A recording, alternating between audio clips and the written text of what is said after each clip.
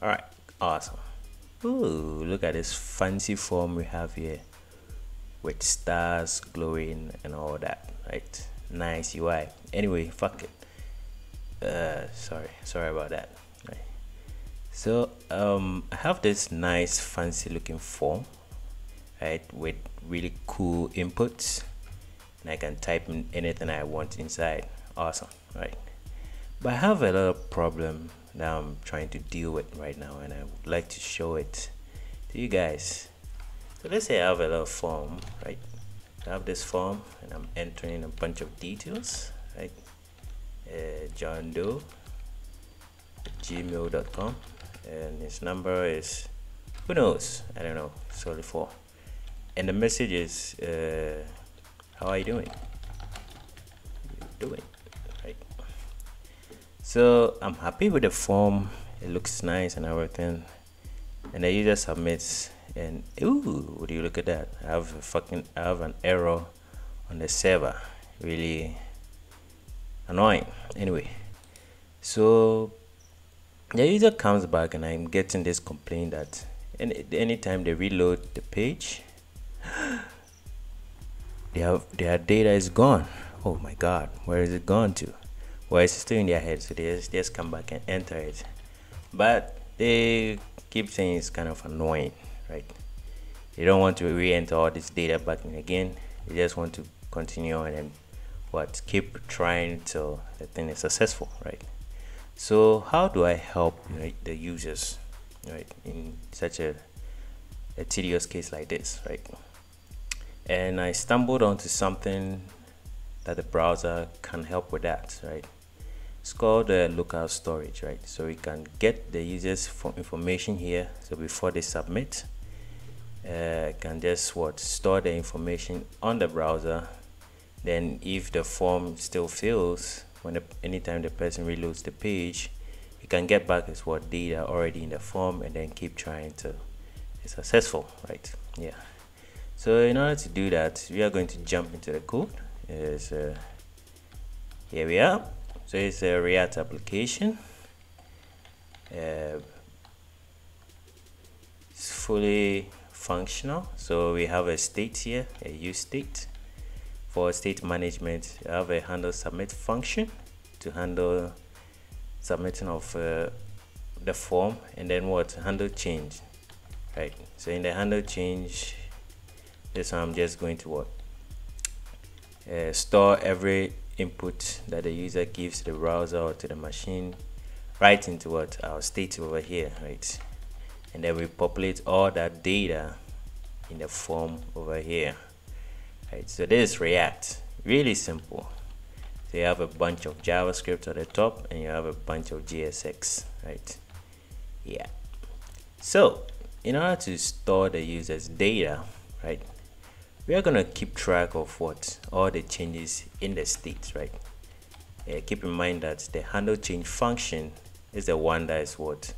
Grabbing all the data the person enters and placing it directly into what? The state right? Uh, we don't really need to know the intricate details of what's going inside the handle change.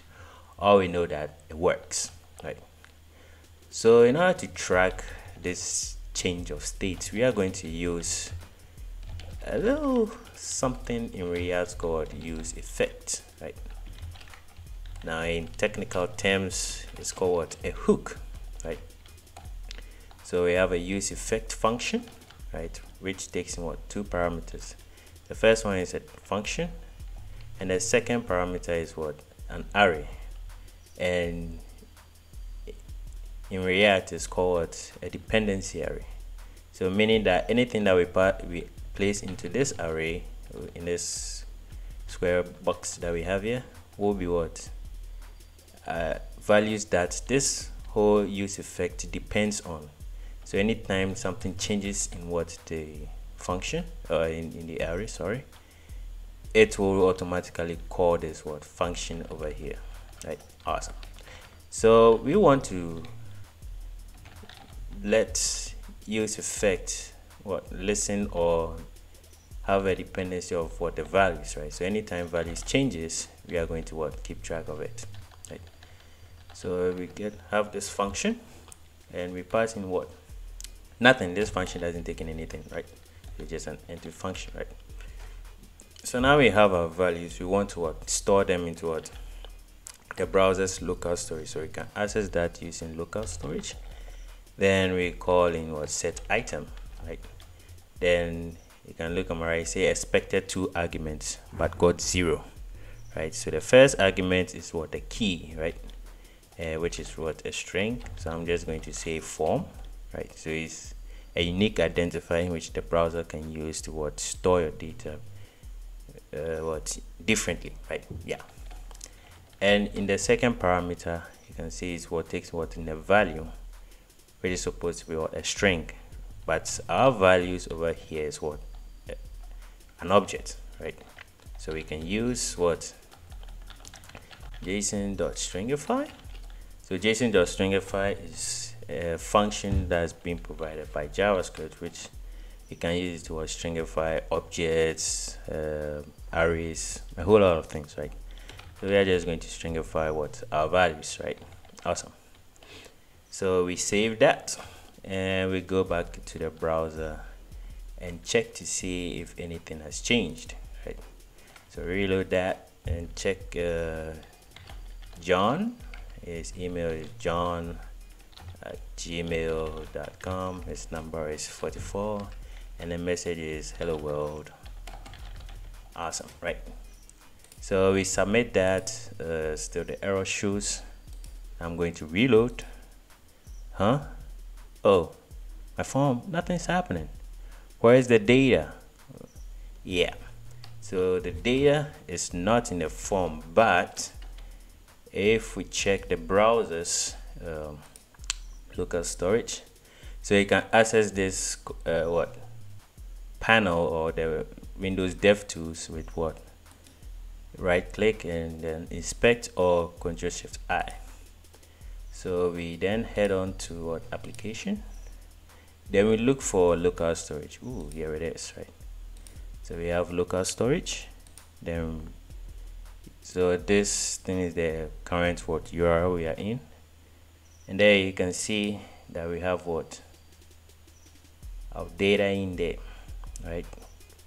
Ah and yes.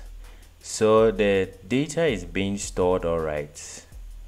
But you can see that all that we entered hasn't been what placed inside it right? And this is where things get what a little bit tricky with what use effect right?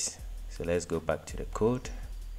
Now the reason why we are having what none of our inputs in this the, uh, in here is because of what when the components were remounted right or when it reloads when you reload the page this form had what?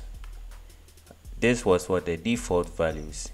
Hence when this use effect was called it then got these default values and then what? Placed them back into what? The what is local storage with what? All these what? Empty values right so we can actually verify that. So if I type in John again uh, let's say let's add another one. So John sorry John at uh, gmail.com right? So if I come back and reload here right? So I reload it and you can see that what email has now has what a value same as John right? So the data is actually being stored but the moment we reload woohoo the data is gone. So reload and the data is gone. All because of this default values we have here. Right. So in order to what? Trick the browser into or trick react into not changing this um, our values we have over here we can what? Pass in here we can grab the data that's in what? Local storage or yeah the, the, data that is already in local storage and then populate it with what the values that we have right?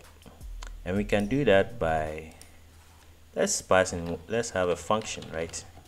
And we are going to say or uh, get form sorry form values. Nice right? So we get form values and we have what local storage dot get item right? So we can say what form that's the key right of the form. So we can get those values and place them into what? Uh, let's say stored values. So we have stored values. All right awesome. So with stored values we are going to check. Now if you hover over stored values it gives you what? Two options. Uh, it gives you the two uh, what? Let's say values in which stored values can be in. it can be a string or null. Null meaning that there's nothing in there or it doesn't exist. Or a string means that something in there but it's what? Encoded to be what? A string. So we can do this right? We can use the if statement. So if there is no stored values right we want to what return sorry we want to return this. Right?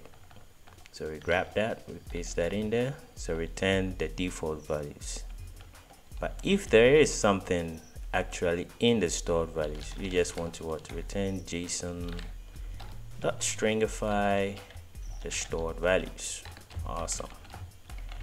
Pretty nice okay now we need to pass in this function get form values into what use state right? And get form values. Uh, and we keep getting all these red annoying errors simply because I'm using TypeScript right? So TypeScript is complaining that the return value is not what it expects. Ooh sorry uh, this shouldn't be stringified but rather parse because we are passing what the stringify what data. Yeah so that fixes that. Awesome right? So now let's try this again. So we save that. Let's reload the page. Hopefully nothing happens. Let's type in John. Go to the next input. We have John at yahoo.com John has moved from Gmail to Yahoo and he has gotten uh, a new phone number. Nice. And his message is uh, don't know what's going on. Right? Nice. So we submit that oh, and errors keeps happening. So reload the page. Ooh, beautiful. Now what the data is already in there. So I can update it do whatever I want with it keep submitting. The error keeps popping up so yeah. The user can clear the entire form or you know try again for a million times till what it becomes successful.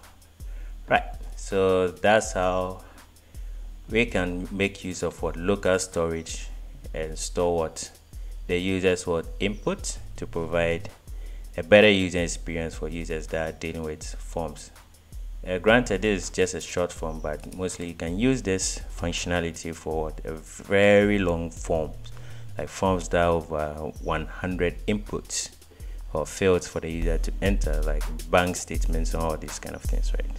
Yeah, so you can use that for that. All right, thanks, guys.